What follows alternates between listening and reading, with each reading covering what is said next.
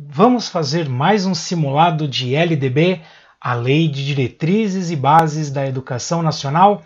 Se você está estudando para concurso, seja muito bem-vindo ao meu canal. Eu sou o professor Ivan Claudio Guedes e é um imenso prazer estar aqui para ajudar nos seus estudos. Se você está chegando agora no canal, não se esqueça de se inscrever e ativar as notificações para não perder nenhum vídeo.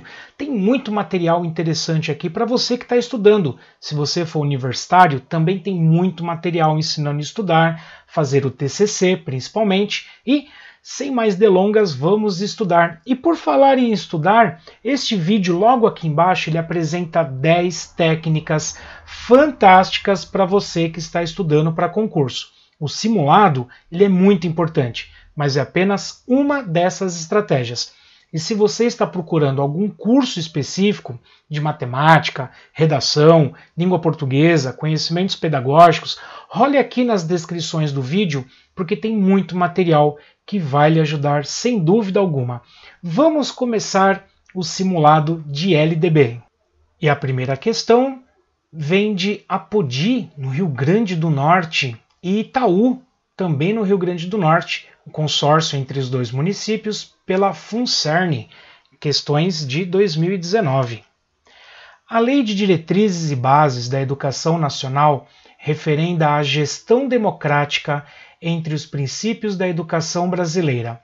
A Lei 9394 de 1996, artigo 3 inciso 8, artigo 14 da mesma lei, o tema encontra-se detalhado.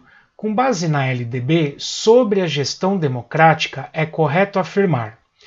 No artigo 14, retoma a ideia inicial sobre a responsabilidade dos sistemas de ensino pela regulamentação das normas de gestão democrática.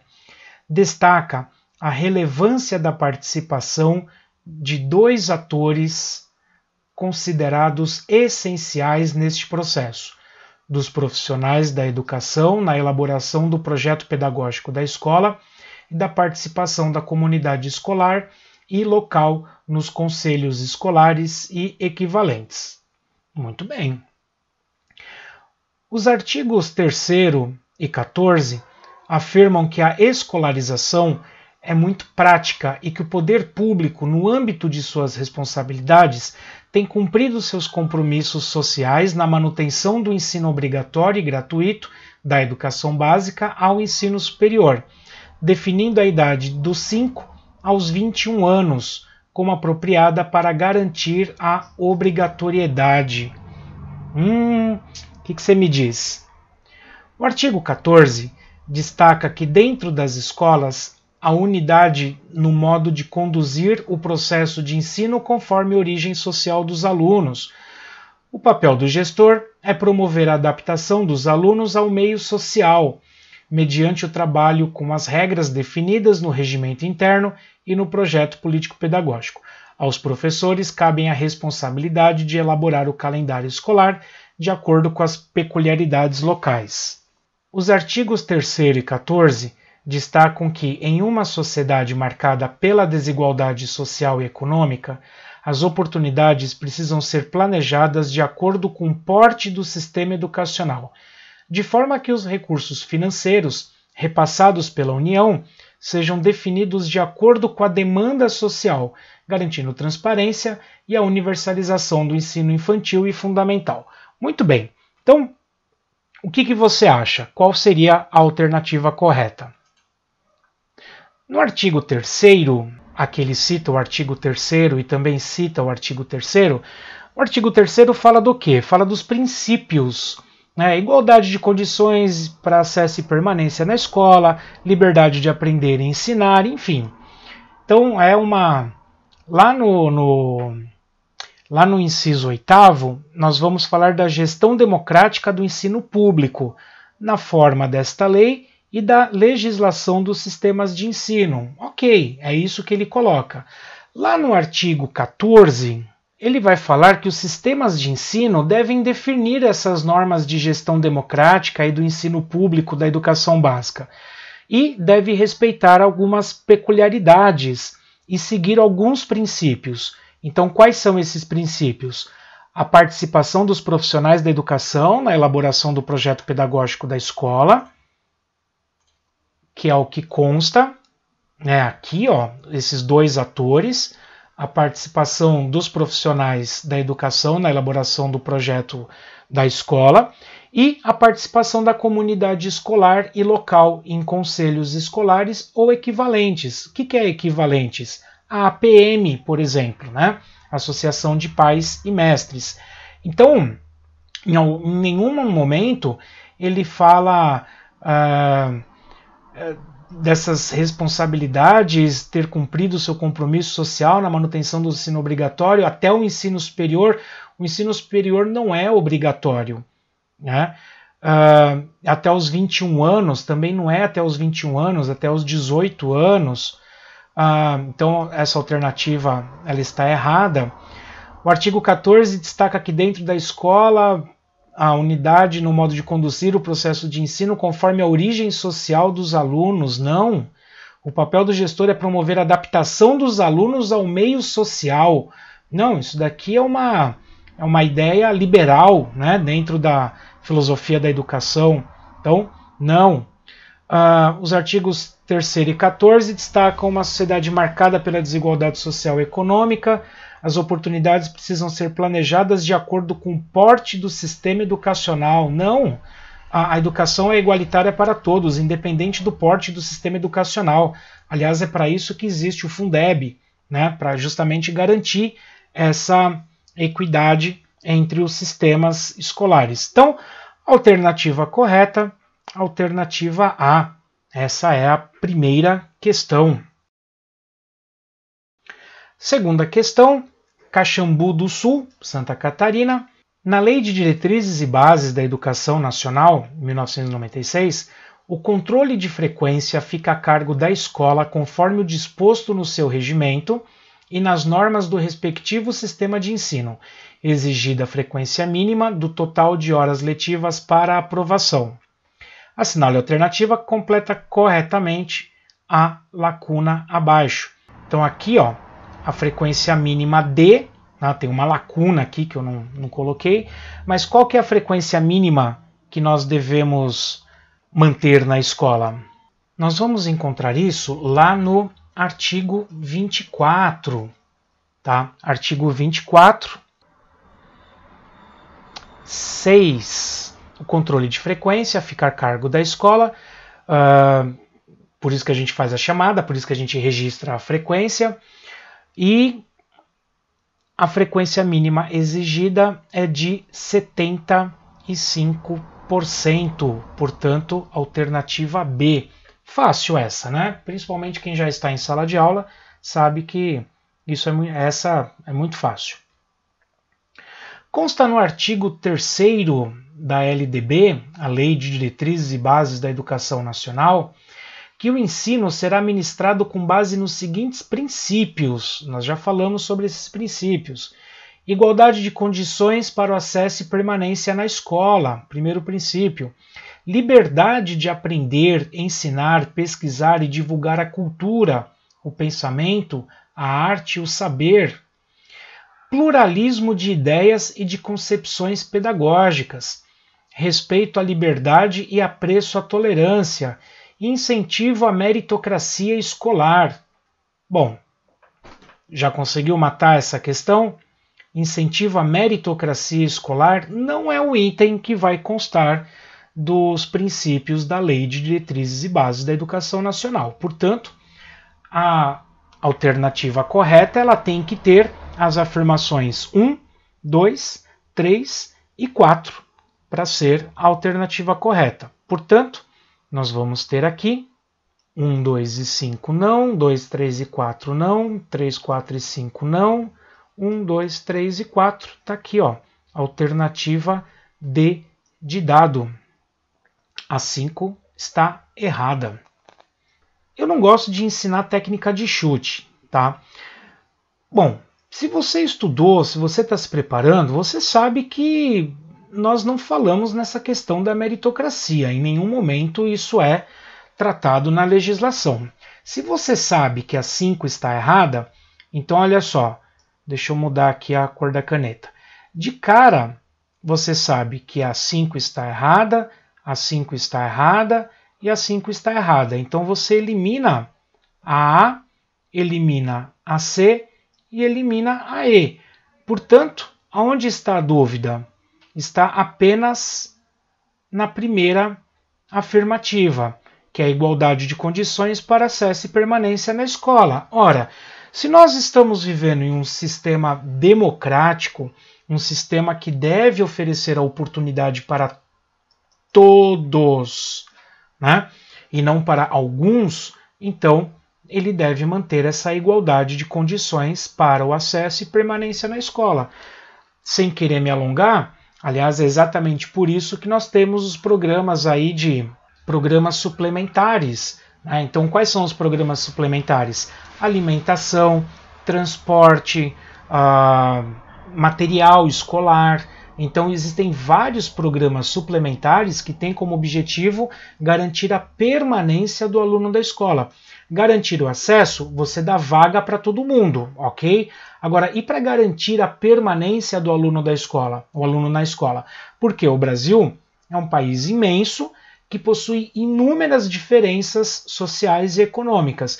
Então, para que a gente mantenha esse aluno na escola, a gente precisa inclusive dos programas suplementares. Vamos lá, próxima questão. Também de Caxambu do Sul, 2019, de acordo com a Lei de Diretrizes e Bases da Educação Nacional, 1996. Opa, essa nós fizemos? Não.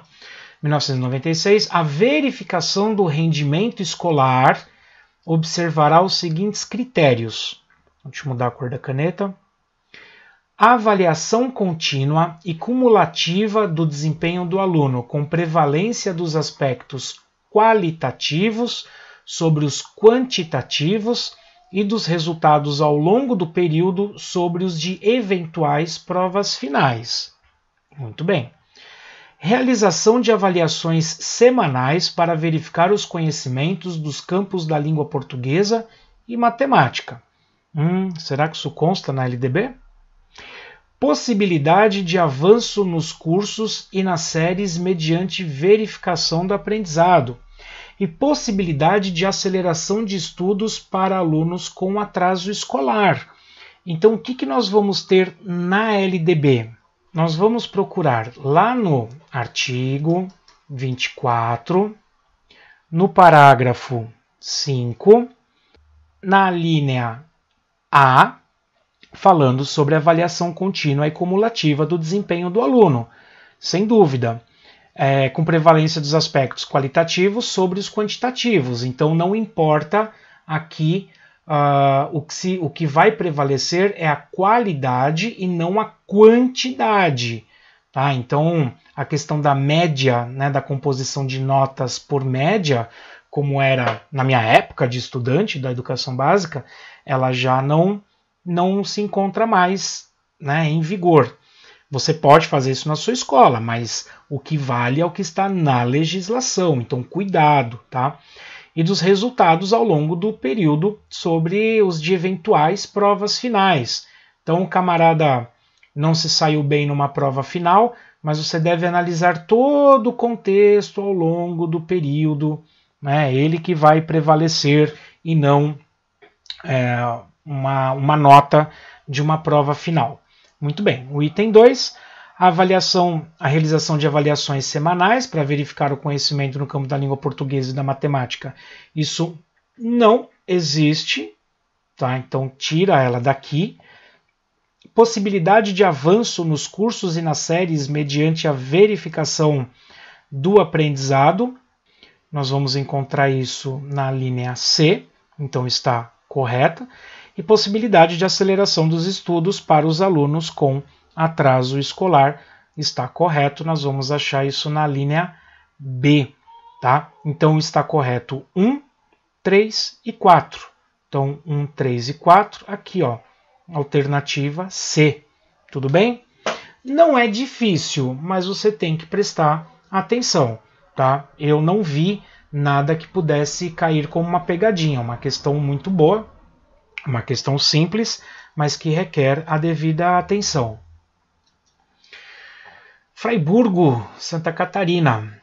De acordo com o artigo 13 da Lei de Diretrizes e Bases da Educação Nacional, os docentes incumbir-se-ão de. Muito bem.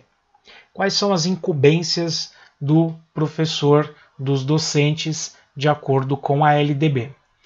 Participar da elaboração da proposta pedagógica do estabelecimento de ensino, elaborar e cumprir plano de trabalho segundo a proposta pedagógica do estabelecimento de ensino, zelar pela aprendizagem dos alunos, estabelecer estratégias para disciplinar e conformar os alunos, ministrar os dias letivos e horas-aula estabelecidos, além de participar integralmente dos períodos dedicados ao planejamento, à avaliação e ao desenvolvimento profissional. Colaborar com as atividades de articulação da escola, com as famílias e com a comunidade. Então, assinale as, as afirmativas corretas. E aí, qual é ou quais são as afirmativas que estão corretas? A primeira afirmativa está correta ou está errada? Então, tudo está lá no artigo 13. Então, sim, é uma incumbência do professor participar da elaboração da proposta pedagógica do estabelecimento de ensino. Né? Nós temos que participar da proposta pedagógica da escola. Elaborar e cumprir o plano de trabalho segundo a proposta pedagógica do estabelecimento de ensino? Sim, também é uma incumbência do professor. Zelar pela aprendizagem dos alunos? Sim, também é uma incumbência do professor. Estabelecer estratégias para disciplinar e conformar os seus alunos? Não, não é uma, extra, não é uma incumbência do professor. O professor não é um disciplinador, uh, ou como eu costumo brincar, um discípulo do Skinner, né? Ministrar os dias letivos e horas-aulas estabelecidos, além de participar integralmente dos períodos dedicados ao planejamento, avaliação ou desenvolvimento profissional? Sim, está aqui. Como assim, professor? Desenvolvimento profissional? Ora, nós temos as atividades, é, depende da região, né, mas alguns lugares são chamados de HTPC, outros lugares são chamados de ATPC, Outros lugares são chamados de hora atividade, né, aqui HA, hora atividade. Uh, outros lugares são chamados de GEIF. Então depende muito do lugar. Mas esse desenvolvimento profissional em serviço ele se dá a partir dessas reuniões que nós temos na, nas escolas. Tá? Então é um momento de, de estudo coletivo. Então está correto sim. E colaborar com as atividades de articulação da escola, com as famílias e a comunidade. Sim, né? Por exemplo, uh, me dá um exemplo de atividades de articulação da escola com a família e comunidade. Campanhas, é, festas, eventos, reunião de pais. Então, eu preciso colaborar com essa articulação da escola com as famílias e com a comunidade. Então, a única que está errada é a 4. Então, não pode ser a A, não pode ser a B, não pode ser a E. Então só ficou aqui, ó, entre a C e a D. Então, né, eu entendo como uma questão fácil, não sei você aí. Gostaria que você me deixasse a sua opinião, se as questões estão muito fáceis ou não. Eu acho que está tranquilo, né? Quando a gente dá uma estudada, quando a gente conhece mais a legislação, independente do seu método de estudo, eu acho que ela está tranquilo. Aliás, e aí, tá gostando do simulado? Não esquece de deixar o seu like. Isso é extremamente importante para eu saber se eu estou te ajudando ou não. Identifique abaixo as afirmativas verdadeira e, e, as falsas de acordo com a Lei de Diretrizes e Bases da Educação Nacional. O ensino da arte, especialmente em suas expressões regionais, constituirá componente curricular obrigatório da educação básica. Hum, interessante. Então, essa afirmação ela é dada pela Lei 13.415 de 2017. Ok, é uma afirmação verdadeira.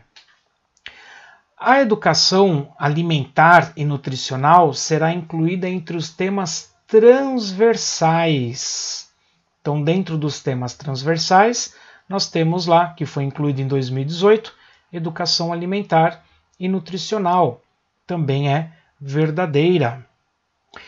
No currículo do ensino fundamental, a partir do sexto ano, será ofertada a língua inglesa, redação dada pela Lei 13.415, a mesma daqui, né, de 2017. Está correto. O ensino de História do Brasil deverá levar em conta as contribuições das diferentes culturas e etnias para a formação do povo brasileiro, especialmente de matriz europeia. Hum. Então vamos lá. Nós temos aqui as matrizes europeias, mas também temos as matrizes africanas, né? Então, quando a gente analisa este artigo, aonde nós vamos encontrá-lo? Nós vamos encontrá-lo no artigo 26, parágrafo 4. Tá? Então, lá no artigo 26, parágrafo 4, ele está falando sobre o ensino da história do Brasil e ah, as culturas e etnias para a formação do povo brasileiro, nós temos as matrizes indígena, sem dúvida alguma, né? Nossa, o nosso povo originário aqui da, do Brasil, então as matrizes indígena, africana, como eu já escrevi, e aí a europeia. Maravilha? Então essa daqui é falsa. Verdadeiro, verdadeiro, verdadeiro, falso. Verdadeiro, verdadeiro, verdadeiro, verdadeiro, falso. Aqui, ó. Alternativa B. De acordo com o artigo 58 da Lei de Diretrizes e Bases da Educação Nacional, redação dada pela Lei 12.796 de 2013, então é uma alteração no artigo 58, entende-se por educação especial, para os efeitos desta lei, a modalidade de educação escolar oferecida preferencialmente na rede regular de ensino para os educandos com necessidades especiais, necessidades educacionais especiais, problemas de aprendizagem e deficiência, deficiência, transtornos globais do desenvolvimento e altas habilidades ou superdotação, dificuldades de aprendizagem, deficiência, transtornos globais do desenvolvimento e alta, ou, altas habilidades ou superdotação. Então, o que, que nós vamos encontrar lá no artigo 58? Nós vamos ter a educação inclusiva, né, educação especial, educação inclusiva, educação especial, educação inclusiva é outra coisa.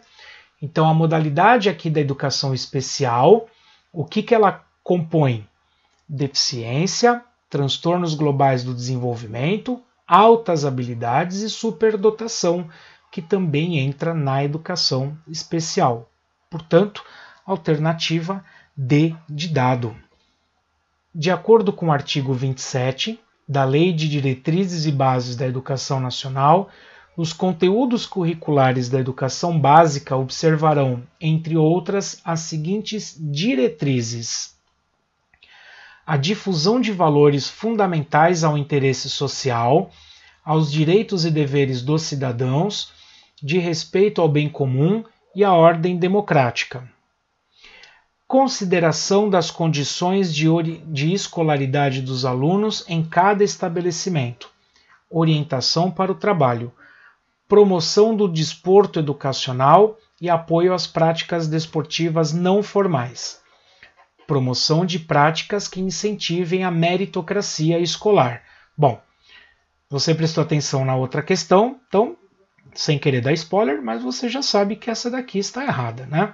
Nós não falamos da meritocracia. Então, quais são as afirmativas corretas?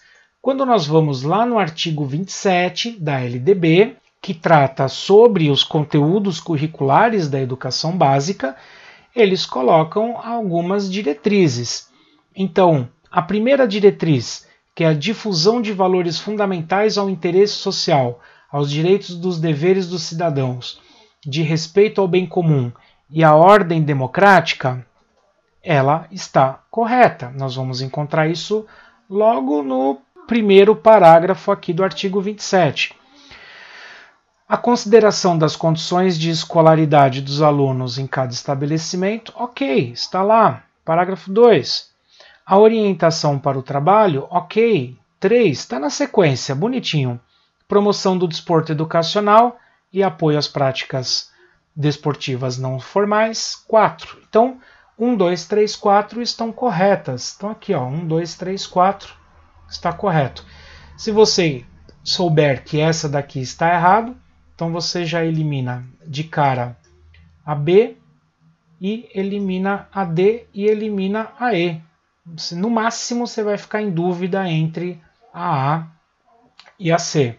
Né? Só que a afirmativa 3, que é aqui a orientação para o trabalho, é a diferença entre elas, a educação para o trabalho, a orientação para o trabalho, ela está aqui, está correto. Portanto, afirmativa C.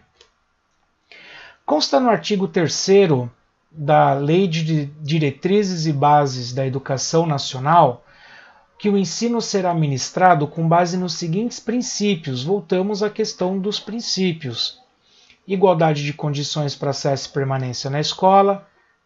Essa questão nós já fizemos.